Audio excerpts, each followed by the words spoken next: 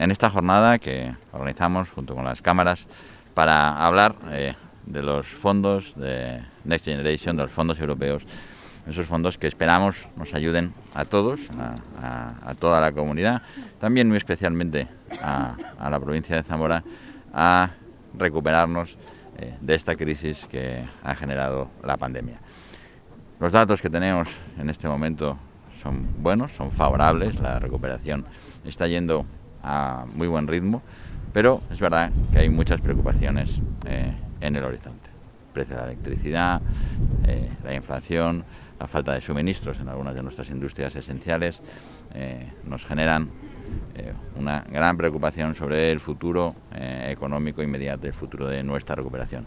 Tenemos que trabajar conjuntamente por facilitar la vida a quienes de verdad generan la recuperación, que son nuestros empresarios. Tenemos que simplificarles la norma, tenemos que facilitarles el acceso a los fondos y de todo eso eh, es de lo que vamos a tratar eh, en esta reunión y de todo eso es de lo que trata también eh, la labor de nuestra consejería, de la simplificación normativa, de facilitar el acceso a la información, de ser más transparentes para que los ciudadanos y los empresarios puedan acceder también a a nuestros recursos y a nuestras ayudas.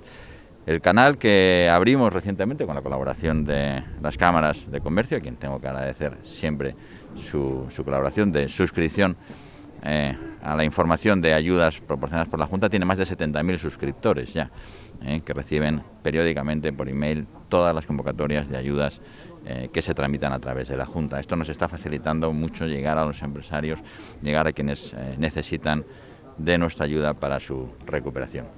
De eso se trata la política. La política lo que tiene que hacer es dar estabilidad, simplificar la vida de quienes eh, crean eh, riqueza, de quienes emprenden, de quienes dan trabajo. Y, en eso es en lo que estamos ahora. Eh, y por eso hoy es un buen día para estar aquí hablando con el presidente de la Cámara y con todos los participantes en estas jornadas de estos fondos que, insisto, son esenciales para afianzar una recuperación que en este momento eh, va bien, pero que tiene serios nubarrones eh, eh, al frente y que esperamos se resuelvan a la mayor brevedad posible. ¿El reparto de esos fondos debería priorizarse a territorios como Zamora quizás más necesitados? Bueno, nosotros lo hemos dicho esto de manera reiterada, que uno de los criterios de reparto de los fondos debería de ser el reto demográfico. Hay pocas provincias eh, en España, iba a decir en nuestra comunidad, digo en España, que tengan un problema de reto demográfico tan intenso como tiene Zamora. Por tanto, tiene que ser eh, un objetivo primordial. Y nosotros así se lo hemos manifestado al Gobierno, al Ministerio de Reto Demográfico eh, y esperamos que se cumpla, por eso estamos trabajando sobre otros temas, eh, hoy es el primer día sin esas restricciones, no sé cómo se plantean, si con cautela este cambio de, fase. Bueno, yo creo que hemos sido muy cautelosos hasta, hasta este momento, seguimos siéndolo, pero bueno, oiga, hoy es un día para celebrarlo.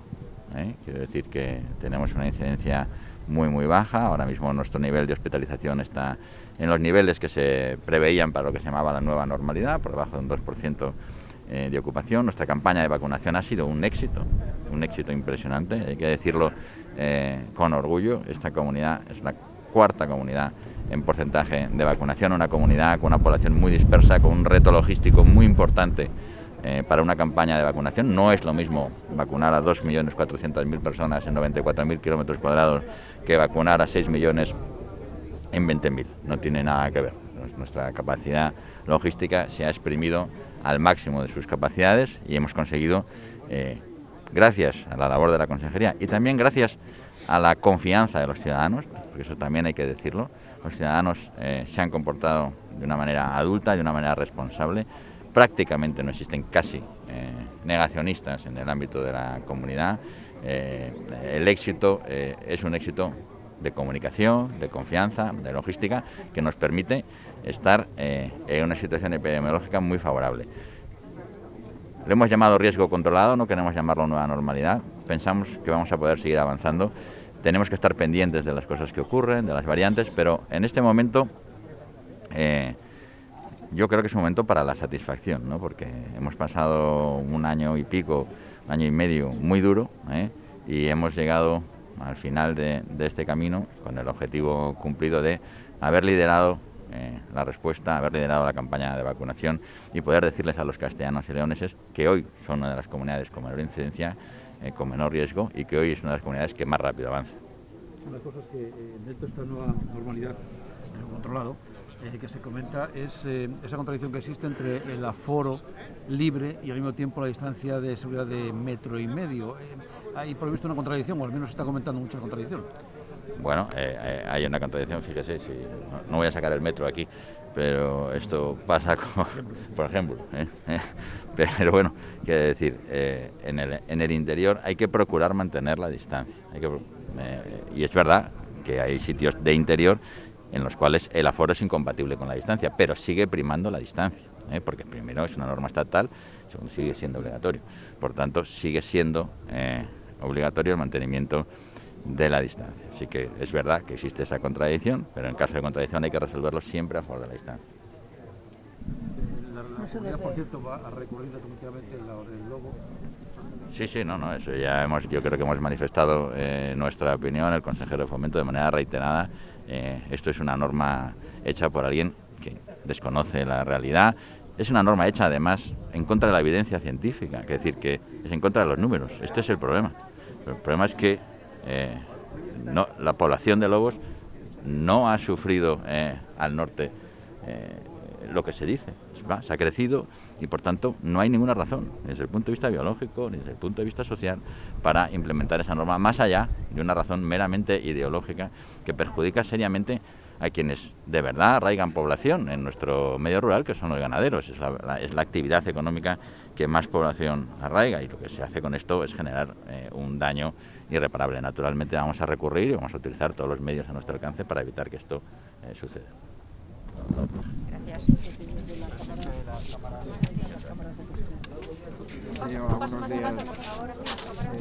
Pues buenos días a todos y a todas. Por supuesto agradecer a los medios de comunicación en esta amplitud de medios que hoy acuden, pues vuestro compromiso con la sociedad que es a la que debéis de informar. En primer lugar agradecer una vez más a al vicepresidente de la Junta de, Castilla y León, su presencia hoy aquí, su presencia para eh, colaborar en el apoyo al mundo empresarial, de, en este caso de todas las cámaras de comercio de Castilla y León, pero hoy principalmente, y por eso está aquí el presidente de la Cámara de Zamora, a los empresarios zamoranos.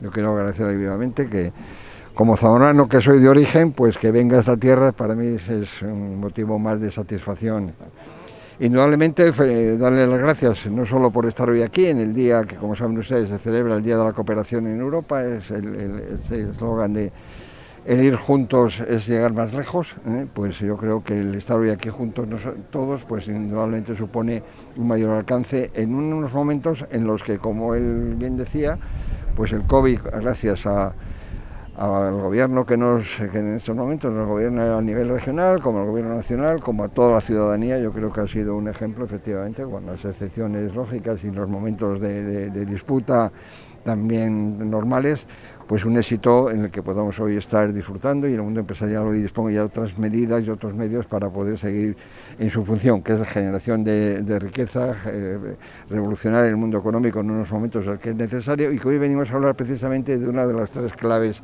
que debemos de tener. Una es el tema de la vacunación del COVID, que como todos ustedes saben es, es fundamental para ese desarrollo. Luego, en segundo lugar, los fondos, los fondos de europeos que son fundamentales para esta recuperación y luego por otra parte pues también hablar de lo que es la función eh, público-privada que realmente ayude a compartir y a repartir adecuadamente estos fondos.